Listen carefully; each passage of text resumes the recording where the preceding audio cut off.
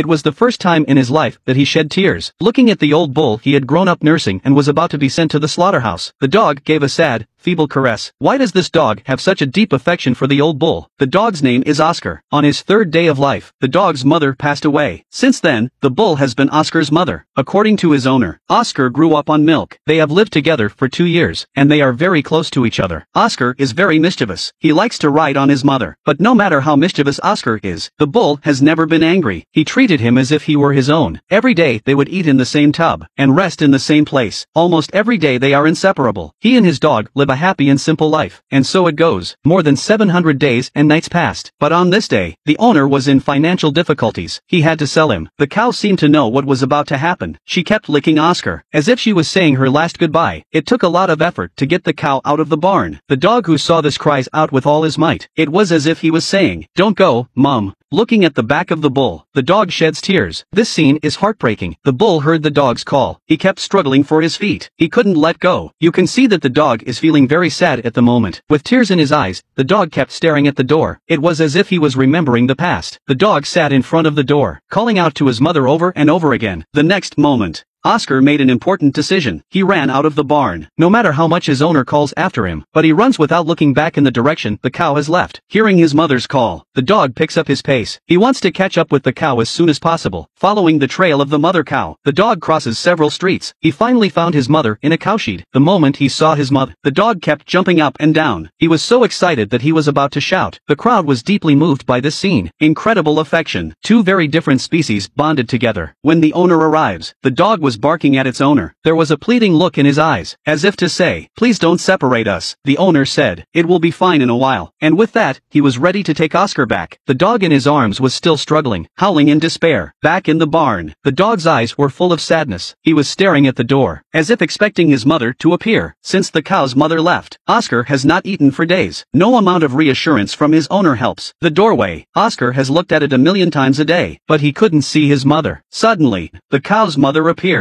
with a call from the cow's mother. Oscar turned to look. With unexplainable joy, he runs to his mother. He leaps for joy, wagging his tail. The owner says to Oscar, are you happy now? The owner had seen Oscar not eating or drinking every day. He couldn't bear the thought of separating them. He finally bought the cow back. Oscar was finally able to live with his mother again. The truth is, animals have feelings too. Every life deserves to be treated with care.